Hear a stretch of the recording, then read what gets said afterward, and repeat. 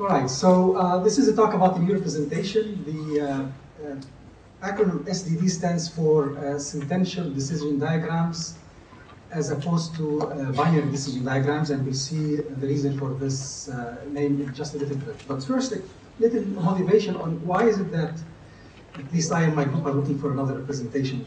And uh, let me mention that this is part of um, work on knowledge compilation, which has been going on for some time, where we uh, try to find compiled structures of uh, knowledge bases uh, that allow us to answer certain queries in, in polytime. And uh, there's been quite some work on this subject um, um over the years, and a number of uh, languages have been identified that would qualify as compiled structures. I'm going to mention two of them in particular, uh, OBDDs, which we all know about and have been quite influential and have been actually developed for a very long time. And also uh, more recent uh, representation, deterministic DNNF. Um, the idea is that uh, these different representations vary in terms of their uh, power and succinctness. So OBDDs are extremely powerful. They give you a lot of um, operations in, in polytime, uh, but they tend to be somewhat bigger. Uh, deterministic DNNF are a superset of OBDDs. They give you less power, but they tend to scale better in terms of size. So the idea is that if you don't need the power of OBDDs and the power that's given by deterministic DNNF is good enough, then probably that's what you want to do because you're going to scale better. And actually, there's a lot of uh, examples now in the literature over the last few years where people are doing this instead using deterministic DNNF. Uh, so what do we need here? Why are we looking for more? What actually I've been working on with my group for quite some time is navigating this space in between OBDDs and deterministic DNNF, trying to find something here that has a particular property. That's proved extremely difficult, and we've had many successive uh, uh, uh progresses over the years, but uh, the, the, one thing that I'm trying to chase is a fragment that's as close to deterministic DNNF as possible in terms of being general and succinct, but that has these two properties that have made OBDDs extremely uh, popular, canonicity and polytime apply. So I'm going to just mention uh, that apply is the ability to take two elements of the language and combine them by conjoining, disjoining in polynomial time. And the reason that's important is there's a whole set of applications that require that. And if you do not have a polytime apply, you cannot use it. So the, the language that I'm going to mention now, uh, sentential decision diagram, have these two properties. And I'm going to talk about the importance of canonicity towards the very end, on the last slide. If I don't, make sure you ask me, because that's very important. Okay, so here's SDD. I'm going to introduce them somewhat uh, pictorially by starting with OBDDs and telling you what is it that we generalize to get sentential decision diagrams. So I presume people know OBDDs, they're decision diagrams. The variables here are binary. And if they're true, we go this way. If they're false, we go that way. Uh, uh, and they terminate in either one or zero to tell whether this particular instantiation is a model of the formula represented by this OBDD. OBDD we simply uh, follow, and in this case, we're terminating by one. That means this is indeed a model of that particular formula. Okay, so this is uh, OBDDs. What I'm going to show now on the other side is just another way of notating OBDDs, which would not make sense. This is a better notation. However, I'm going to use the new one because it's the one that we're going to adopt when we move to sentential decision diagrams. And here's the notation. So decision nodes now, like this one, look like this. Uh, think of this as OR. I can go either way, this way or that way. Think of these pairs as ands, this and that. So if A is true, I go this way. If A is false, I go that way. And the decision node looks more like this. And moreover, I'm going to call this guy A and not A, I'm going to call them primes, the primes of the decision node, the, the conditions upon which I decide to go this way or that way. And I'm going to call these guys here the subs. So a prime, sub, prime, sub, all right? And we're going to see why this uh, makes sense. So the next slide, we're going to see a picture of a sentential decision diagram. And we're going to see that it results from making two generalizations uh, on the OBDD. And then we'll go to the theoretical properties and see why we care and so on. Let me just mention, a key property of the OBDD is that the variables are always respect a particular variable order. So there is a particular order, in this case A, B, C, D, and, and that's characteristic feature of OBDDs, the variable order. All right, so here's a picture of a sentential decision diagram, uh, but for a different function than the one on the previous slide. And we're going to see that it generalizes an OBDD in two particular senses. The first one is that decision nodes are no longer binary in that case. Here's our first decision node. This decision node has three outcomes. So in general, uh, it could be an arbitrary number of outcomes, but the other important thing is the primes are no longer variables or they're negations. They're no longer literals as we've seen of OBDDs, but they're arbitrary sentences. So in this case, we have three outcomes of the decision. Each outcome is a prime and a sub, prime, sub, prime, sub. And if you look at these primes, uh, they are, as I said, arbitrary sentences represented recursively as SDDs. So if we unfold uh, the meaning of these three primes here, we're going to see that they look like this. The first one is A and B, not A and B and not B. And these three primes are mutually exclusive and exhaustive, and that is a requirement. So the definition of a decision node is that it's a set of pairs where the left parts are primes, sentences that are mutually exclusive and exhaustive, we call them primes.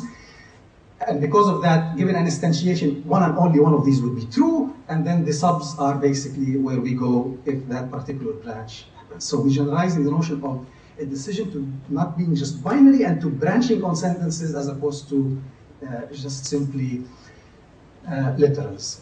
So this is the one first generalization. The other generalization, remember that OBDDs are characterized by variable orders.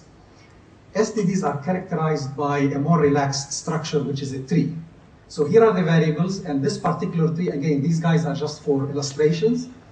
Uh, we call this a V tree or a variable tree, and it characterizes uh, SDD in a particular way. These decision nodes are not just arbitrary, but they have one more condition on them. Hmm. This decision node respects that particular V-tree node. What does that mean? That means the primes of that decision node must be here over variables in the left subtree, and the subs are sentences over the right subtree.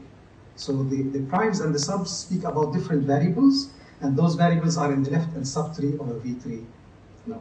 All right, so that's basically the SDD. You'll see the formal definition in the paper, and uh, and you'll see in a little bit how the OBDD is a special case of this in a very precise uh, sense.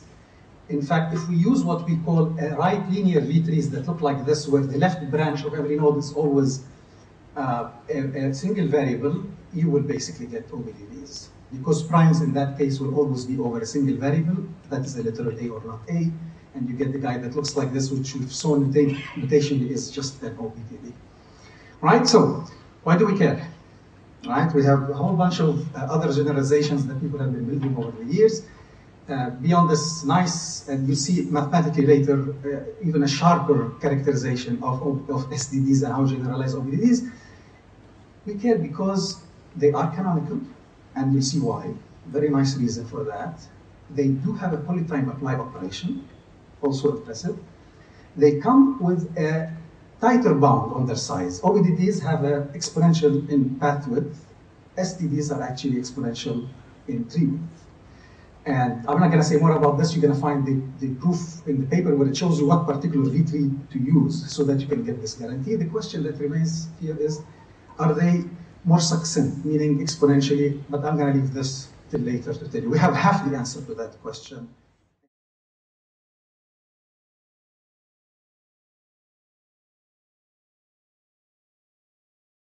Okay, so it, it's the, the, representation and properties is just remarkable. Uh, what happened? What is it that made this stuff comes come out? And it's this definition that I'm going to show you on this slide. And it, it is the, the result of making an incremental improvement on a definition that we've been working on for some years. The notion of an X partition. Take a function f over two sets of variables x and y, not overlapping. So all of the variables of f are now partitioned into x and y. And let's decompose that function or write it in the following way. As a bunch of components that mention only x, a bunch of functions that mention only y. This is a conjunction, so h and g. And this is a disjunction. Write it like this. This is a notion that we introduced last year and we call it an xy decomposition of the function. All right? Now, we add one more condition we require that these H's here form a partition. That means they are mutually exclusive and exhaustive and they cannot be false. When that happens, this decomposition will be called an X partition of that particular function. X partitions characterize SDDs as you'll see now in a very precise sense. and are their properties are responsible for all of the properties that SDDs attain. And I'm going to give you two theorems late next. One shows you why we have canonicity, and the other why we have a polytime uh, apply operation. But notation, we notate this typically using sets where the elements of the set are, um, excuse me, each element is a prime and a sub. Remember, we call this guy a prime. The guys that have to be mutually exclusive and exhaustive, the partition, we call them primes. So every pair is a prime and a sub. And then we have this uh, particular notation, okay? And, and it's used heavily in the paper. This is the first result that gives us canonicity. We will say that an X partition is compressed if it does not have any equal subs, meaning you cannot have two of these G's that are equal. If that's the case, it is called compressed. If it's not compressed in the sense that maybe G1 and G2 are equal, we can always compress it this way by disjoining the corresponding primes and copying the, you know, one of these guys. Now, the main theorem is this. For a function over a split of its variables x and y, there is a unique compressed x partition. Once you take the variables of the function and divide them into x and y, and you tell me, get me a compressed x partition, there's only one. And that's why, as you see next, you, you get the canonicity. Remember this example. This example is for this particular function, right? Now, the minute you drew this particular V-tree, you have told me, I'm going to start representing this function or decomposing it by splitting its variables into an x and an y. We know that there is a unique compressed x partition where x is a and b and it happens, excuse me, it happens to be this one. It has three elements, three primes, and three subs. What does that mean? I've already determined my first decision node. Done. There's no choice. Now, the three subs and the three primes will be recursively represented in the same way by decomposing them further. And the V-tree tells me how to do that. The primes will be decomposed using this subtree, and the subs will be decomposed using this particular subtree. You keep doing this until you hit boundary conditions, and we got our SDD. Right? Okay. You know that OBDDs, or have heard, are characterized by what's known as the Shannon expansion. The Shannon expansion is just an X partition when the set X is a singleton. When it's a singleton, I only have two primes, X and X prime. And the two subs are the condition or the subfunctions, f given x, f given not x, and this is basically the partition that I have. And this is why when you have right linear V trees and use this, you actually get OBDDs. Okay? Why do we have a polytime apply operation? Because of the following theorem. If I have this x partition of the function f, and if I have this x partition of the function g, guess what? the X partition of their composition, F circ G, where circ here is any Boolean operator, is this. It's a Cartesian product, effectively, of these two guys. So this is size n, this is size m, you get n by n. And that's basic. The rest is standard techniques for proving that you have a polytime. Uh, but I have to mention here, caution. This guy may not be compressed, even if these two guys are compressed. So this apply will give you in quadratic time uh, but, but the result may not be compressed. And I could not, and I've tried quite a bit, to bound the case when we have compression. So to do compression, you just have to make a recursive call to disjoint primes when subs are not equal.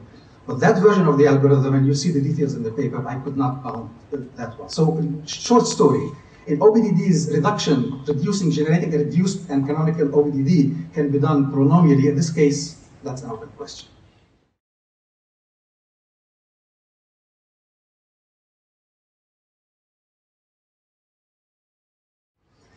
All right, guys, I'm almost done here. Uh, let me tell you a little bit more about this relation, what we know about the relation between the sizes of SDDs and OBDDs, and I need this notion. Here's a total variable order like you have in an OBDD. We can dissect it into a V-tree, right? Just make a cut, make these left, right, and keep doing this recursively. Clearly, you can dissect an order in many ways, and these are two possible dissections of this particular order. So here's what we know so far. Interestingly enough, if you just take an OBDD, take its order, and dissect it almost randomly, literally randomly, you tend to actually get quite a bit of reduction in size. And you see the experimental results in the paper on that. Just random dissection. But A sharper thing, which is unpublished, but it's recent work with uh, Yexiang Xue and Arthur Choi, we have shown a class of functions where the OBDD for a particular order is exponentially sized, but if you dissect that order, the corresponding SDD is actually linear.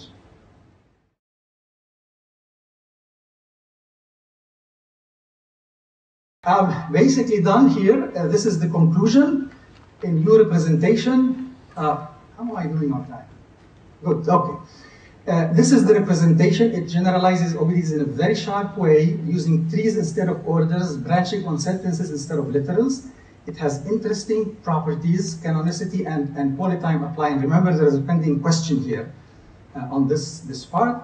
It comes with a tighter bound using tree width than uh, path width. And at least we know that dissecting the orders into V-trees and going from binary to, to sentential uh, can lead to exponential reductions in size.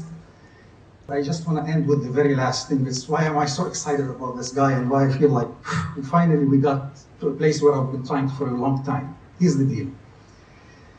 Compiling, there, there's two sides to this game of knowledge compilation. Finding interesting languages and trying to compile into these languages. Now, there's OBDD, it have, have its own CUDD compiler that everybody uses. There's DNNFs, which have the C to, c2d compiler that people have been using. One of the very interesting points is whether the compiler, how close it is to being optimal. Meaning, when it gives you back a compilation for a particular formula, there could be multiple compilations. Is it bringing you the smallest possible? Playing that game of compilation is very difficult. In OBDDs, it was made very simple because the OBDD is characterized by a linear order. That means navigating the space of compilation is a process of navigating permutations. It's a large space, but very nicely well defined. So when people do dynamic uh, variable orders, they start with one, and if they find that it's too big, they start actually adjusting or navigating the space of permutations. But on this side of the compilation that corresponds, or the OBDD that corresponds to the order, there's nothing happening because it's fixed. There's no search space on the side. When you modify your order, there's one way to modify the BDD. Otherwise, if there's multiple ways, then you have two search spaces which is the case for most previous works. Now, with this fragment, if we want to do dynamic search trees and search for them, we have set the grounds for a similar game. The space to navigate in this case is the space of trees. All I have to worry about is modify trees and incrementally modifying them. On this side where I have my SDD, there is no search. All right? There is just incremental modifications to these in a deterministic way. That dear audience, make a huge difference. And that's why OBDDs have excelled because there's almost a dozen, if not two dozen, heuristics and methods that people have found to dynamically find orders because the game is so nicely and elegantly well defined. So I hope, I hope that we will uh, be in a similar situation uh, with this uh, with this line of work. Thank you.